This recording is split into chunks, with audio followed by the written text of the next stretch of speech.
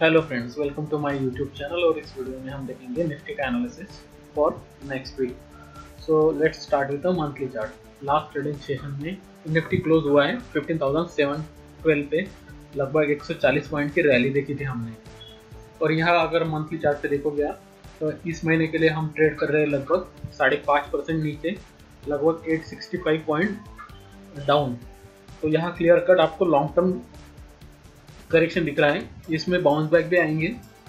और यहाँ जो है तो हमने इस महीने जो 20 मंथ का जो एवरेज था उसको टच किया है जो था 15,200 के अराउंड उसके नीचे नेक्स्ट सपोर्ट आता है 13,500 के अराउंड तो यहाँ धीरे धीरे मार्केट जो है तो मेजर एवरेजेस की तरफ़ करेक्ट हो रहा है।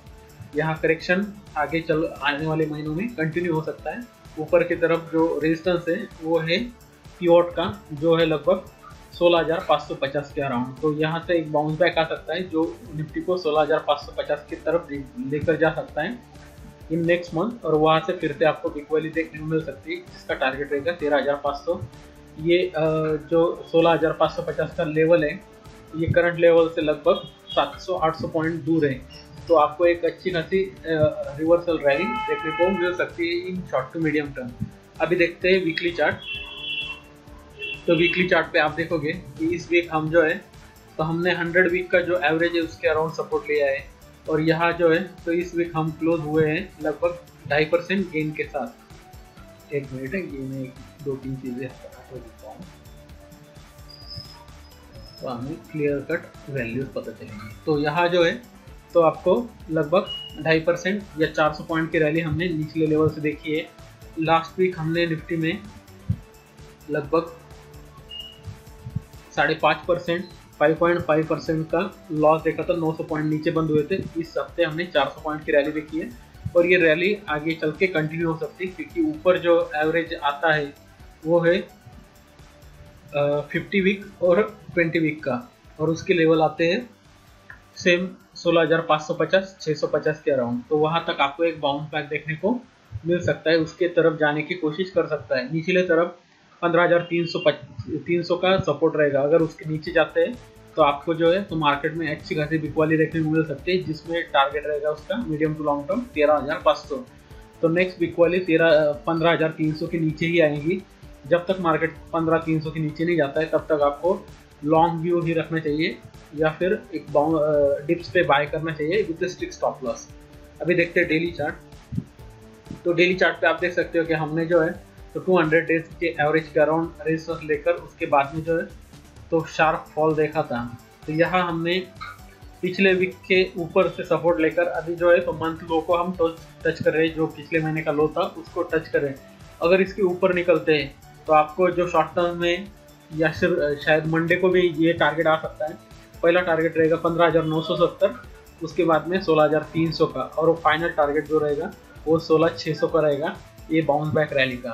तो यहाँ डिप्स पे आपको अभी यहाँ लॉन्ग व्यू रखना है डिप्स पे बाय करना है विद स्टिक स्टॉप लॉस पहला जो टारगेट रहेगा मेरा नेक्स्ट वीक के लिए, वो रहेगा पंद्रह हज़ार नौ सौ पचास. उसके बाद में उसको पार करते तो सोलह हज़ार तीन सौ और उसके बाद में सोलह हज़ार छः सौ के टारगेट आपको आने वाले एक से दो हफ्तों में देखने को मिल सकते हैं। नीचे जैसे मैंने कहा मेजर सपोर्ट पंद्रह हज़ार तीन सौ है और आप पिछले वीक का जो लो है, वो पंद्रह हज़ार दो सौ है।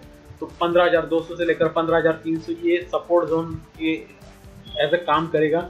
ये जब टूटेगा, आपको जो है तो एक नई और अच्छी खासी गिरावट मार्केट में आती हुई दिखेगी, जो मार्केट को लेकर जाएगी तेरह हज़ार पाँच सौ के लेवल की तरफ़ in medium to longer term अगले हफ़्ते के लिए लॉन्ग व्यू टारगेट पंद्रह हज़ार नौ सौ पचास, सोलह हज़ार तीन सौ और सोलह हज़ार छः सौ।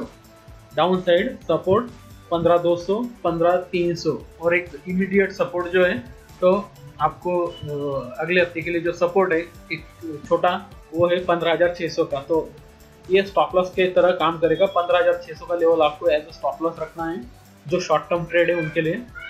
पहला टारगेट पंद्रह नौ सौ पचास, जो मुझे लगता है मंडे के दिन ही आपको देखने को मिलेगा।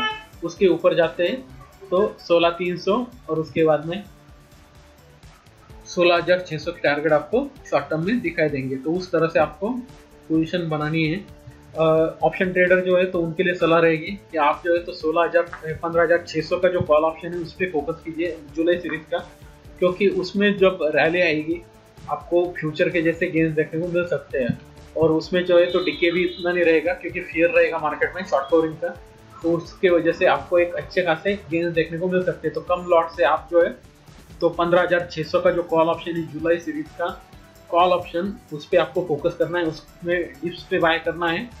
आपके टारगेट सेम रहेंगे। पंद्रह, नौ सौ, पचास पे पहला प्रॉफिट बुक करना है, सोलह, दो सौ, सोलह, तीन सौ पे दूसरा प्रॉफिट बुक करना है और फाइनल प्रॉफिट आपको सोलह छः सौ पे बुक करना है। अगर तीन लॉट के साथ ट्रेड करते हो आप तो एक एक लॉट तीन लेवल पे बुक करना है। अगर छः लॉट से करते हो तो दो दो लॉट आपको ये लेवल आती है, आपको, आपका प्रॉफिट जो है तो बुक करना है। और उसको डिप्स पे फिर से एक्यूमुलेट भी कर सकते हो। तो ये मेरी स्ट्रैटेजी रहेगी नेक्स्ट वीक के लिए। और यहाँ जो है तो जो बुल्स हैं, उनको थोड़ा सा रिलीफ मिल सकता है। यहाँ अभी जो बियर्स है, जिन्होंने लेट शॉर्ट किया था, वो सभी ट्रैक होंगे। तो यहाँ मार्केट में मेरा व्यू रहेगा कि शॉर्ट नहीं करना है। और लॉन्ग लेन लॉन्ग पोजिशन लेनी है, वो भी स्टॉप लॉस के साथ।